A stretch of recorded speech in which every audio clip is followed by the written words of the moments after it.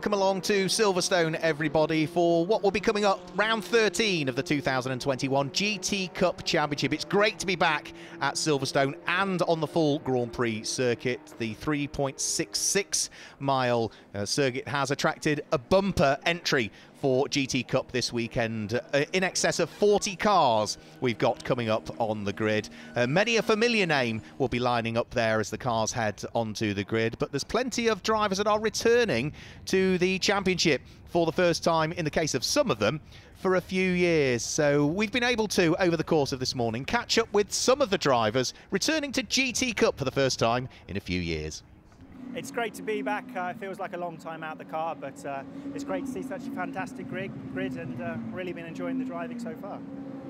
Whilst it's just a, a one-off outing for you this weekend, you know, as a former champion, it'd be good to come back for a full season. Uh, it would be great. It would be great. Um, and next year we'll, we'll be looking to, uh, to, to compete from the start and uh, hopefully get some good points. obviously, a lot, a lot of lot of tough competition and some big grids this year. So yeah, if we were to do a full season, I'm sure we'd have a great battle as you say, a lot of tough competition, a lot more Lamborghinis than last time you raced in GT Cup. Yeah, a lot more Lamborghinis. It's great to see uh, Lamborghinis, Ferraris, and uh, a few Porsches out. Uh, still haven't quite got the measure of them, but uh, we'll, we'll find out very shortly. So, Sean, one of the drivers that's returning to the GT Cup Championship for the first time in a while. Yeah, I think it was uh, 2015. Donington was the last race that I did, so uh, I'm a little bit race rusty, but enjoying it. It's great to be back in the GT Cup Championship, and uh, it's a little bit more special this time because we're raising some money for the North Staffs Children's Hospital in the intensive care unit there. So it's given me a good reason to come back and. Uh, and, and, and do a little bit of racing as well. Just a little bit of icing on the cake for that, really. So a nice cause there partner with Adam Wilcox for this weekend, the driver that's been in GT Cup for a good number of years, so working hard with him to, to build the pace up? Absolutely, yeah. Adam's been fantastic, as has JMH. They're always great. I've, I've been with JMH now for probably 12 years now, so I know the guys pretty well. You know, the same mechanics are still here. So it's, uh, it's familiar faces. Uh, I just wish the racing was a bit more familiar to me, but five-year break is showing its, uh, is showing its time, unfortunately. Laurent, it's great to see you back in the GT Cup Championship. First time in a while we've seen you. Correct. I mean, I started actually in GT Cup, so it really goes back to my early days of racing, here at Silverstone actually. So for me, this was where I learned my trade and you know really learned a lot about uh, how to race and how to drive. And I've obviously been racing in Challenge uh, for the last few years, but uh, uh this time we are here at Silverstone in GT Cup with the GT3, the Ferrari GT3, and it's actually its first race, so it's very exciting today. Uh, qualification this morning was a little bit, I think it was good. It was actually my best lap time, but I think I still need to do some catching up with some of the other drivers. Partnered with your old mate Jamie Stanley as well? Yeah, we haven't had a fallout yet. Uh, so we've been together for four and plus years. He knows me very well. He knows my strengths, my weaknesses. So I think it's been great. And, uh, you know, I need to thank him and the FF Corse team because they've really given me uh, an, uh, a racing skill that I can now use around the world and, and here at Silverstone, um, British uh, favorite track after Brands Hatch. Good luck for the weekend. Thank you so much. So good to catch up with some of the drivers, and we thank all of our marshals here at Silverstone. All of our cars are carrying a, a, an orange heart uh, on them, and that is in memory of Robert Foot, who was uh, uh, one of our marshals at, at, Brands Hatch and was very sadly killed at a at a race meeting down there just a couple of weekends ago. Without the marshals, who are all unpaid but very professional volunteers, we cannot go motor racing. So um, we still uh, are uh, remembering Robert here this weekend, and you can see down in the bottom left of the screen as well the orange heart there as well. So uh, for Robert Foot, you're still in our memories, uh, as are all of our marshals um, who are here to support us this weekend, as ever. What a what an amazing job they do. Uh, so there is the grid of cars. It couldn't get any larger, could it? So let's just guide you through the grid. There isn't a graphic, but uh, the number 88 Team ABBA Racing Mercedes reshelled. They missed the British GT weekend last weekend at Snetterton, but they are out. Uh, Richard Neary on board for this first race, and alongside will be the number seven uh, Radical of Ben Dimmock. Row two of the grid, you can just see it at the bottom of your screen. It is the number 28 Brabham, Paul Bailey, on board alongside number 61, which is John Dillon with his Lamborghini. So Mercedes, Radical, Brabham, Lamborghini, the front row, two rows of the grid. Uh, the third row of the grid sees the number four Graham Tilley Nissan GT3, lined up alongside the number 55 Ferrari of Laurent de Meeus, who we've just been hearing from, returning to the championship. And row four of the grid is the leading car from GTC. It's the number nine Top Cats Racing Lamborghini that for this race will be in the hands of Jensen Lum. And alongside it is car number 247, which is the LK Motorsport prepared Ferrari of Lucky Khera. Row five of the grid, uh, another driver returning to the championship we just spoke to, 113, James Webb with his Lamborghini. Uh, for company, it's car number 31, which is the Porsche in the hands of Jan For this particular race. And row six of the grid, it's the Jan Klingelnberg, by the way, is the quickest car in Group GTB in qualifying. Row 6 of the grid is number 34, Richard Marsh, and 333, which is Andy Stoker for this race. The seventh row of the grid is number 27, Lucky Cristoforu out this weekend, alongside number 96, which is the Stanbridge Motorsport Chris Kemp driven Lamborghini. And row 8 of the grid is number 35, which is Nick Phelps with his Valluga prepared Porsche, alongside car number 70, joining the championship for this weekend, uh, another Ferrari in the hands of Roy Millington. Row 9 of the grid, it's nice to see Tom Barrow in the Saxon Motorsport BMW 1 Series, the V10 engine car, uh, back on the grid, number 20, alongside number 66, which is Morgan Tilbrook at the wheel of the Enduro Motorsport Mercedes. That is the leading car in Group GTH. And on to row 10 of the grid, car number 1, which is the reigning champion. Josh Jackson in his uh, Orange Racing powered by JMH McLaren uh, alongside the leading car in Group GTA in qualifying, which was car number 80, which is Craig Wilkins for Scott Sports. Uh, those front 10 rows also give you all of the cars that have qualified on pole position in their respective groups. Now, there was one car that had issues in qualifying, and we didn't see anything of it. That's the number 41 Lamborghini, uh, number 91 a Lamborghini, I should say. That is in the hands of Fraser Smart. That will start off the no I was right number 41 Lamborghini. Uh, that is Fraser Smart who will start off the back of the grid for this one.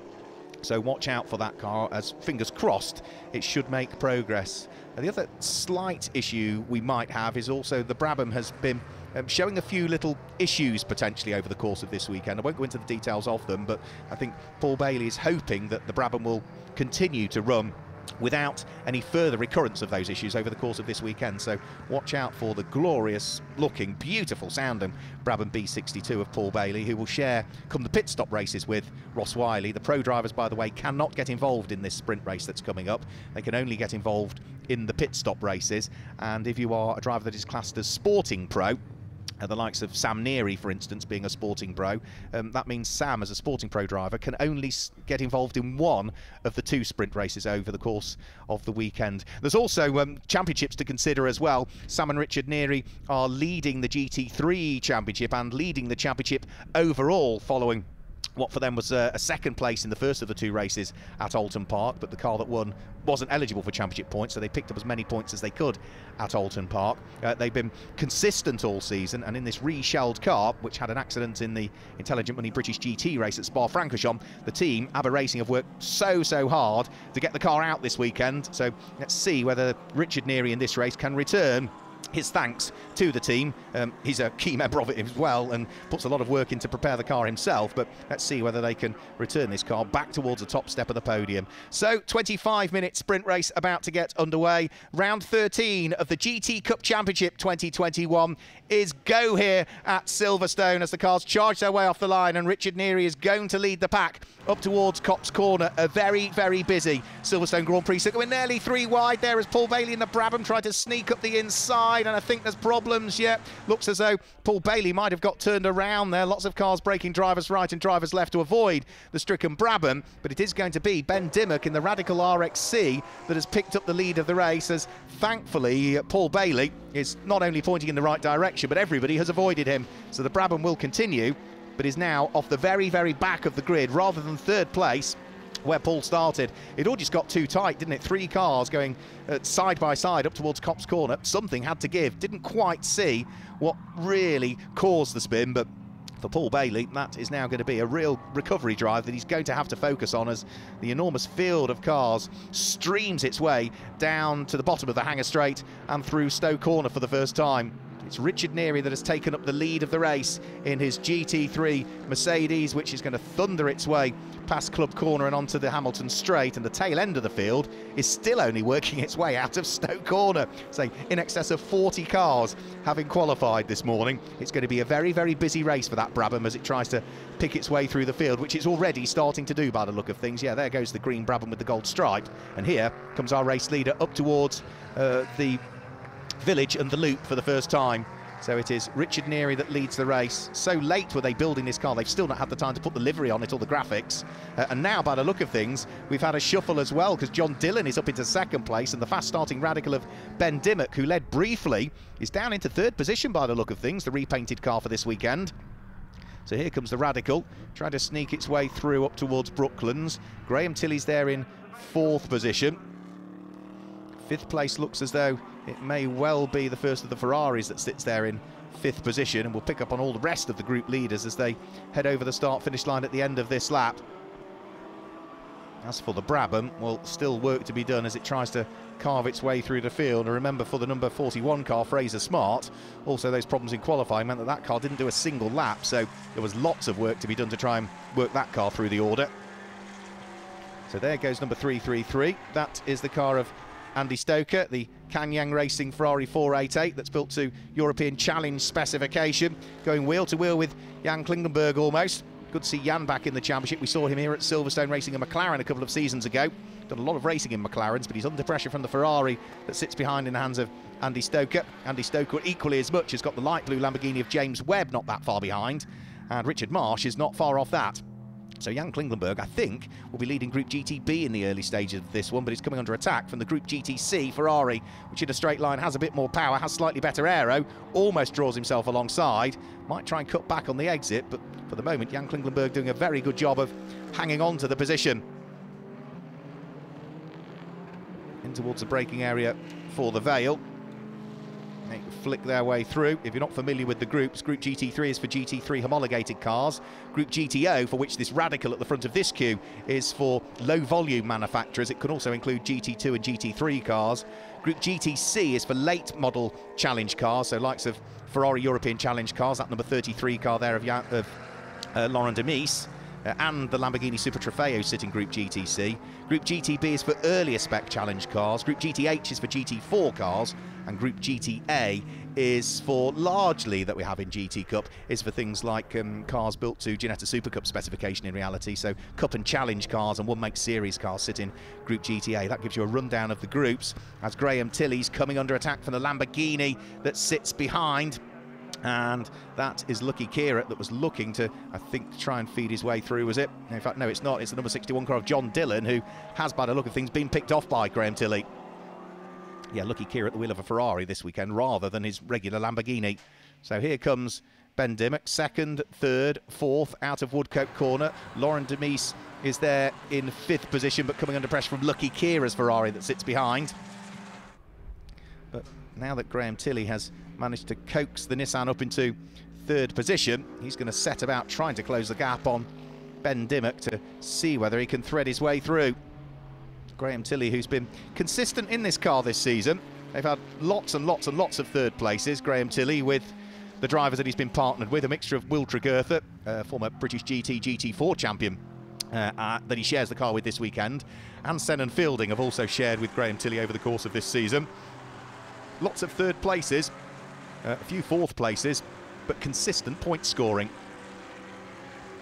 Group GTH is probably the most competitive class, and there's a, a, raft of Group GTH cars, Aston Martins and McLarens, with some of the Group GTA Ginettas trying to get involved as well.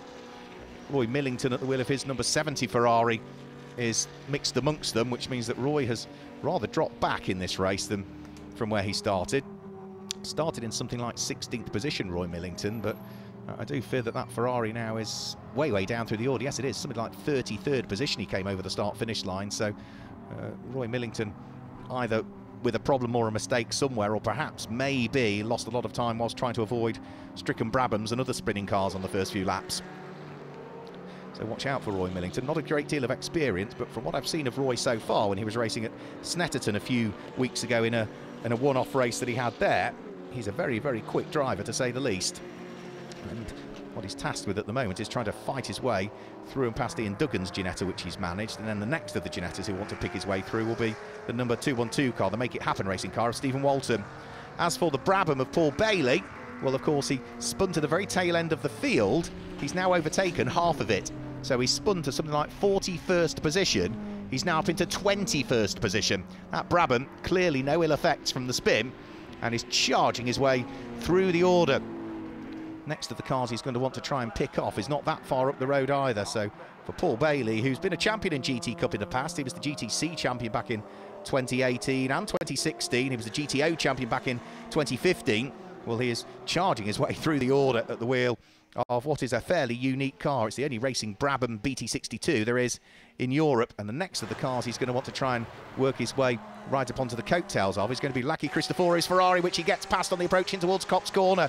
No second invitation needed. Picks that one off. Should be able to pick off the BMW, the V10 engine car of Tom Barrow, which he also dives his way through on the way in towards Maggotts and then Beckett's.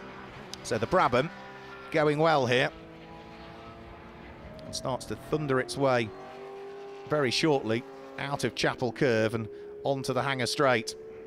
Our race leader, though, which is Richard Neary, last time through, set the fastest lap of the race that we've seen so far. He's on lap number four at the moment as he bounces over the curbs, heading out of Abbey. Two minutes 1.953 for Richard Neary, who'll be sharing the car with his son Sam over the course of this weekend. They really have been stellar performers so far this season, with something like eight overall wins to their name. Now this is a good battle as well. That will be the number nine car of Jensen Lund fighting away with the car in the hands of championship returnee, which is going to be James Webb. Whilst trying to get round the outside of both of them goes Jan Klingelnberg by the look of things. So this is something like 9th, 10th and 11th places, I think it will be. Jensen Lund, I think, has probably lost a couple of places on this lap. Now, Graham Tilley is slowing, is he, at the wheel of the Nissan? Yeah, all is not well for Graham Tilley, I'm afraid. Car was running in third position, but I do fear that the Nissan Nismo GTR 3, one of the cars that was built by Bob Neville's team and competed throughout both the domestic and European GT Championships, I do fear that maybe that car has just gone off the boil a little bit there because Graham Tilley lost four places on that lap. So, yeah, Graham Tilley in seventh position now. Now there goes the number 31 car of Jan Klingelnberg. That still leads Group GTB as things currently stand.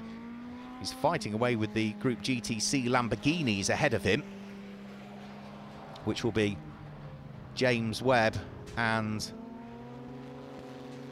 Jensen Lund respectively. But for Graham Tilley now, he's looking to try and make amends for whatever problems befell him and looking to try and to close on the back of Andy Stoker's car. So Graham Tilley from third down to seventh, looking to try and get himself back inside the top six once more. Has a quick look up the inside of the Group GTC Ferrari, car that's built to European Ferrari specification. But Graham Tilley in the GT3 car can't quite haul himself back inside the top six at the moment. The pair of them nose to tail, though, as they head in towards the Vale with already now the first 10 minutes of the race having gone. 15 minutes remain. Damage to the front of Charlotte Gilbert's car. Top Cats Racing Marcus Mantis has had a bit of a bite taken out of the front left corner and you can see that the bodywork is just fouling on the control Pirelli slick tyres that all of the cars will be running in these conditions. So not quite sure what happened there, but possibly cause for concern there. Let's hope that it's a light enough rub that it doesn't mean that the car is going to have to come into the pit lane because if there's any concerns about that tyre rub causing damage and affecting the car which could have a blowout I'm sure Top Cats Racing will bring that car into the pit lane. And this is a good fight going on in group GTH at the moment. Into the pit lane that's the make it happen racing Ginetta that's in. So that's clearly problems for the car of Stephen Walton. Into the pit lane comes Stephen who was the Fun Cup champion back in 2018, who he shares the car with, Chris Hart.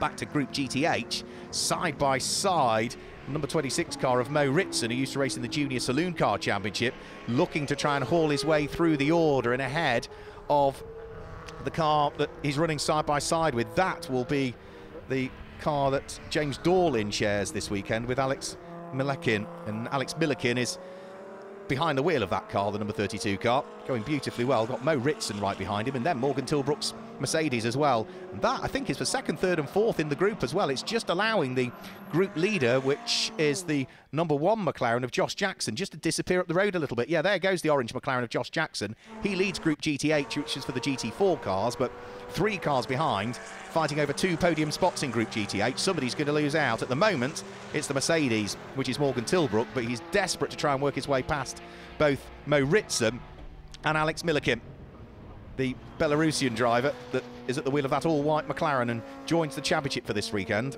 Alex, who has been doing a chunk of racing in the Porsche Sprint Challenge in the UK, and this weekend is partnered in that car with the Sprint Challenge champion from last year, James Dorlin, who was also a, a runner-up in the Renault Clio Cup UK a couple of seasons ago.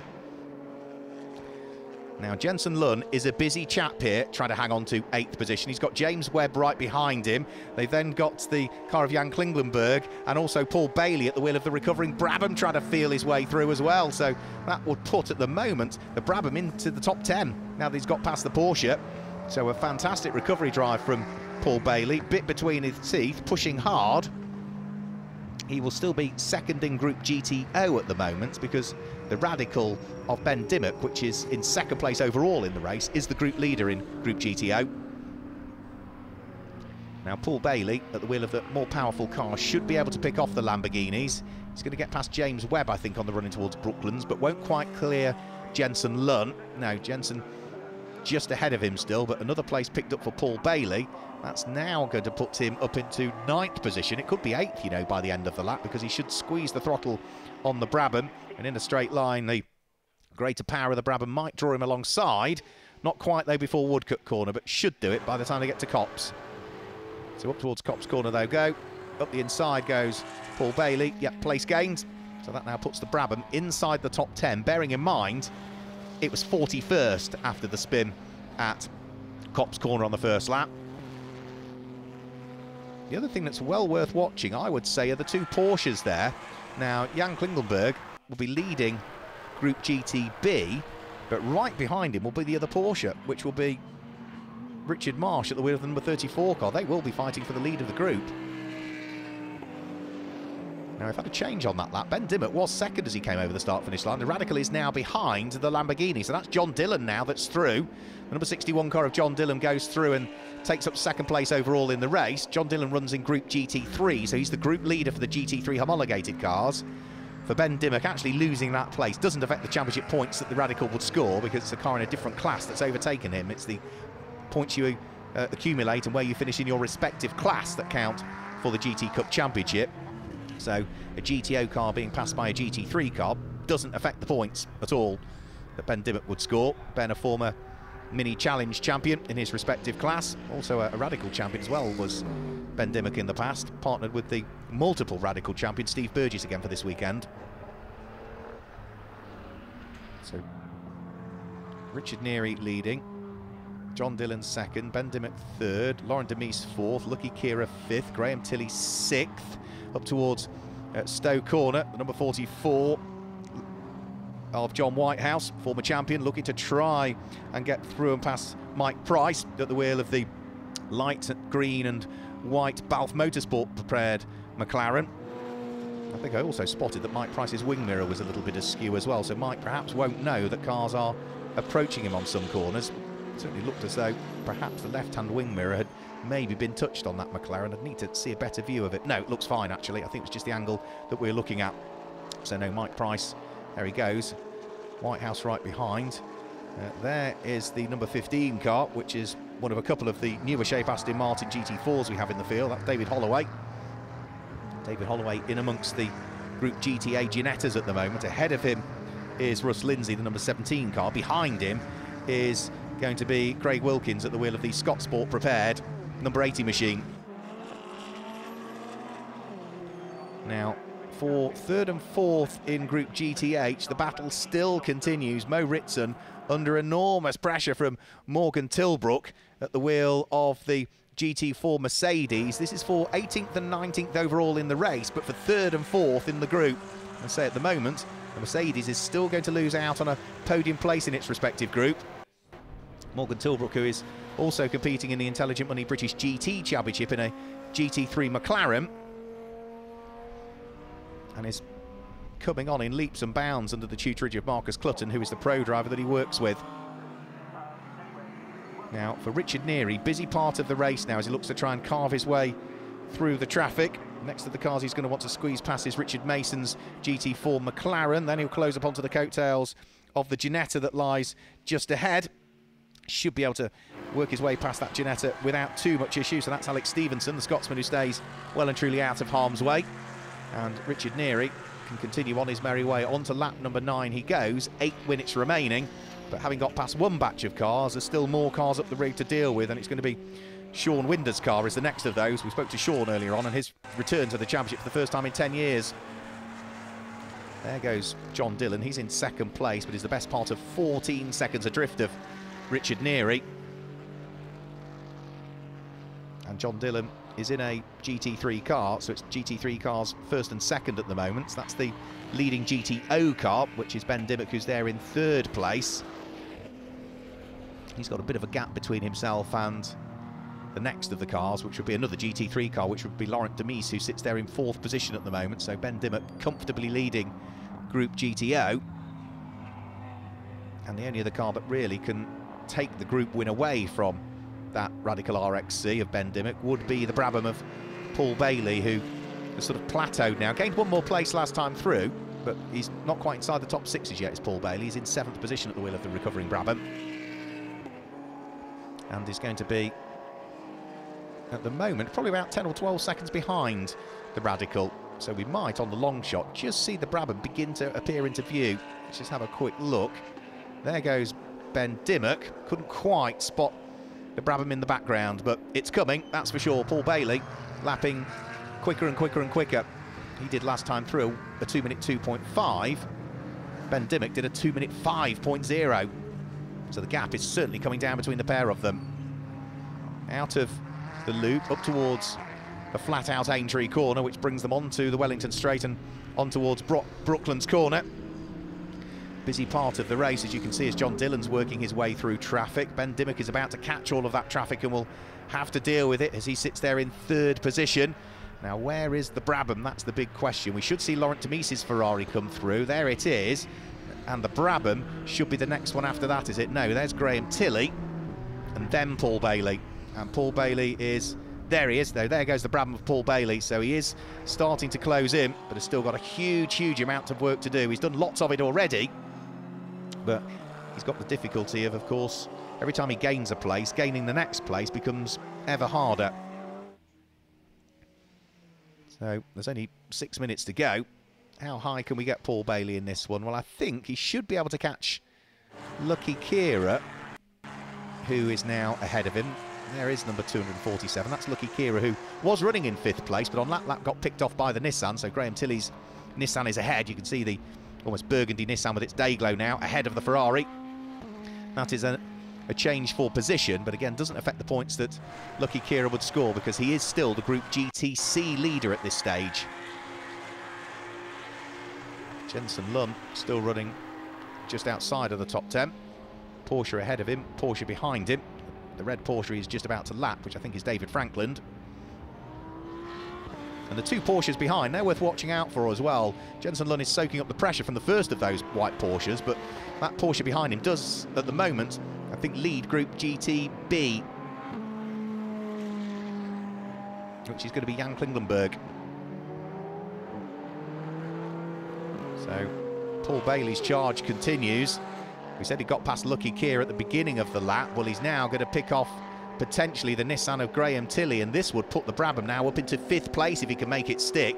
He won't do anything round through Abbey, but might be able to do something on the brakes as they head in towards Village, which is the heavy braking area for the right-hander that they're just coming up to. Brabham up the inside.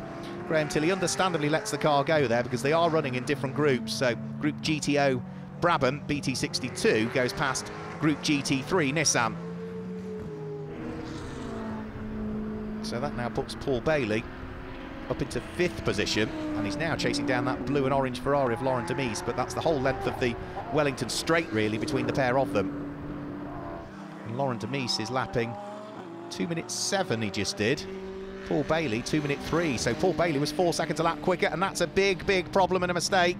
I'm afraid to say a spin for Russ Lindsay. Or is that... No, well, he's gone through the gravel, but is that an engine failure or a spin? No, I think it's a big, big moment coming out of Copse Corner, I think, where he's tried to gather it up and has probably had two or three attempts at twirling his arms to try and save the car and eventually couldn't quite manage it. But there is, right, some damage to it, and that looks as though there's a little bit of fluid actually coming out. So do wonder if maybe he hasn't got away with that. Yeah, definitely, isn't there? There's something.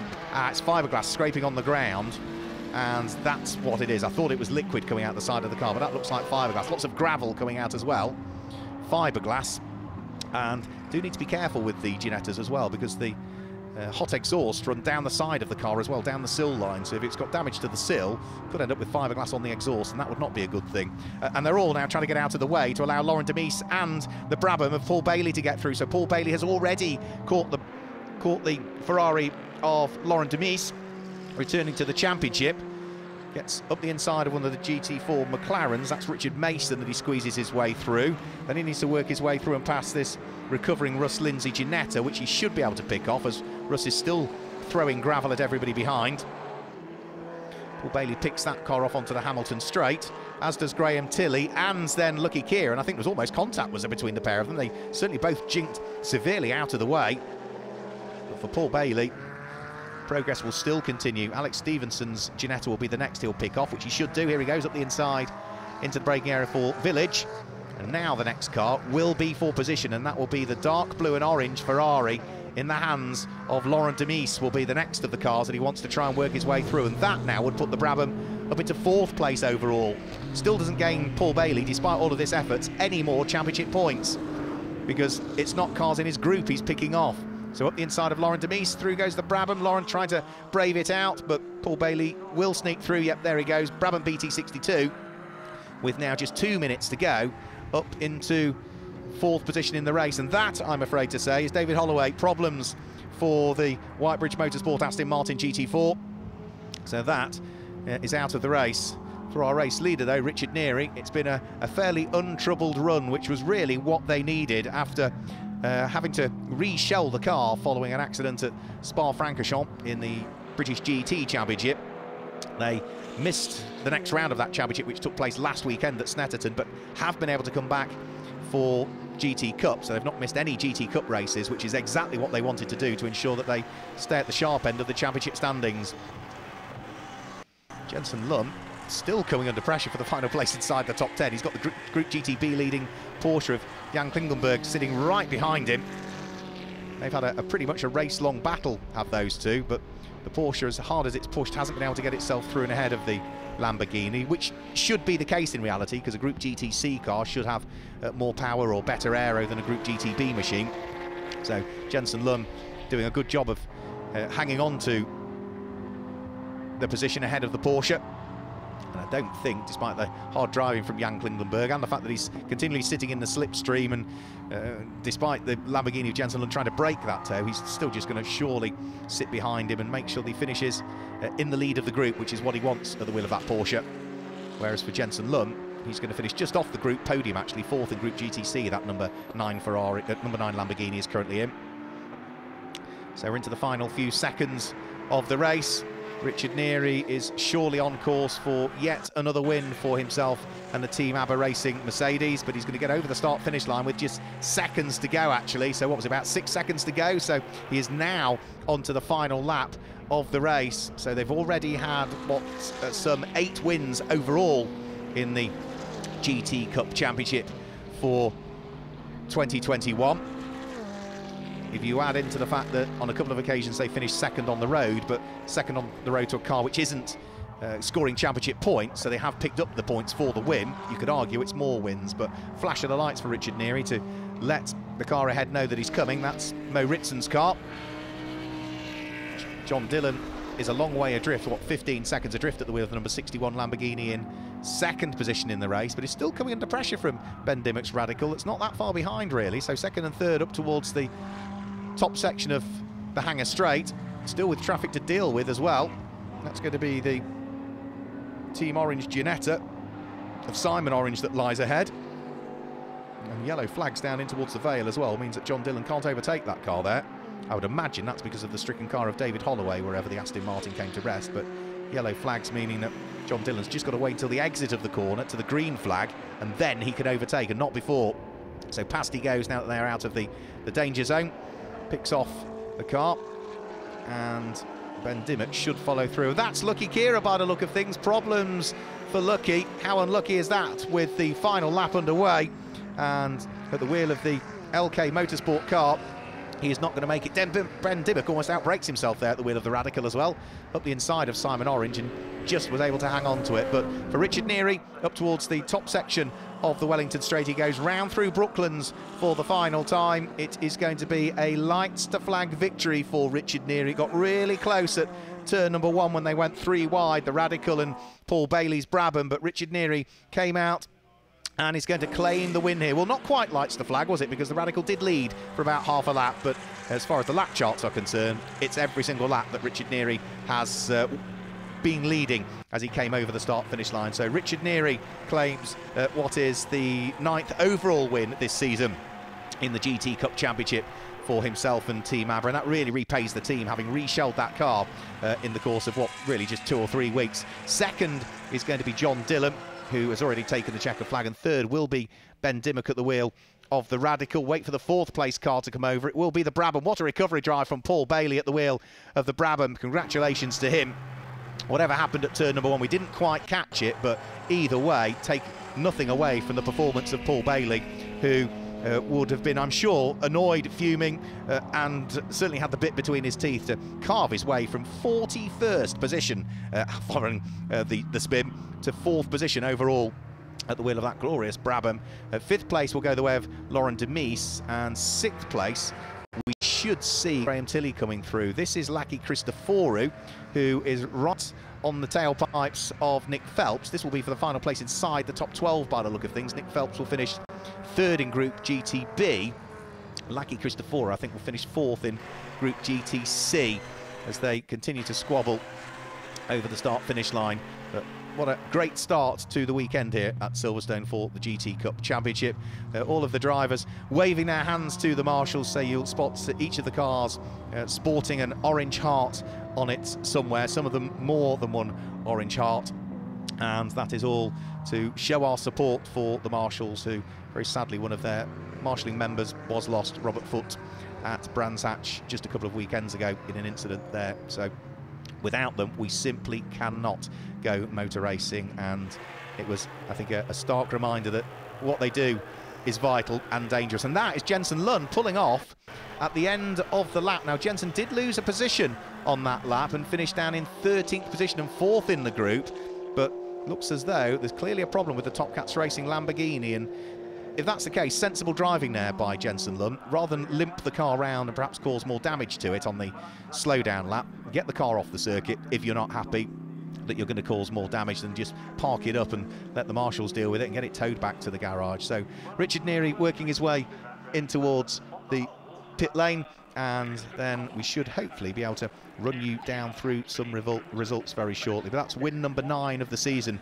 for Richard Neary, sharing with his son Sam, and the two of them are dovetailing their commitments with the GT Cup Championship with what they're doing in the British GT Championship. And great to see that they are right at the sharp end of the championship. So all of the cars working their way back down pit lane and then once they have work their way down to pit lane. They'll all head towards Parc Fermé. Confirmation of the results then. It's a win for Richard Neary. In second place was John Dillon. And third place, but the winning Group GTO went the way of Ben Dimmock. Paul Bailey recovered to finish in fourth place with Lauren de Meeus in fifth and Graham Tilley completing the top six. The winner in Group GTC was Andy Stoker at the wheel of his Ferrari with James Webb finishing in eighth place. Jan Klingelnberg was the winner of Group GTB in ninth place and Richard Marsh came home in 10th position. Uh, in 11th place it was Nick Phelps. 12th place was Laki Chris Christoforou. Warren Gilbert, uh, sorry, sorry, Jensen Lunn finished in 13th place. Tom Barrow was 14th, and 15th was Roy Millington. The winning group GTH went the way of the number 32 McLaren in the end of Alex Malykhin from Morgan Tilbrook, who finished second in the group in the end. He was fourth, wasn't he, for a period of time, but came through to finish in 17th place. 18th place was the number one McLaren of Josh Jackson, who was leading Group GTH, but ultimately finished uh, in third in the group and 18th overall. Moh Ritson was there in 19th place and completing the top 20. It was Charlie Kemp that finished in 20th position. Uh, fantastic introduction to the GT Cup Championship for our first race here at Silverstone. Don't forget, we've got more racing coming up later on today. We have got the first of two pit stop races over the course of this weekend. That race is due to go green at 5. Uh, 10 past 5 this afternoon, 10 past 5 this afternoon, so our live stream will be going live about 5 or 10 minutes before that. So please join us for our GT Cup pit stop race later on. But from everybody here, GT Cup team at Silverstone, until then, it's goodbye.